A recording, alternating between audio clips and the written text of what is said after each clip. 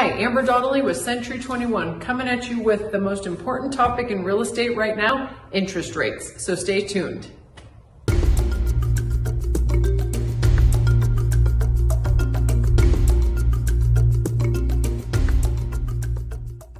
So in the last quarter, interest rates have gone up at least 2%.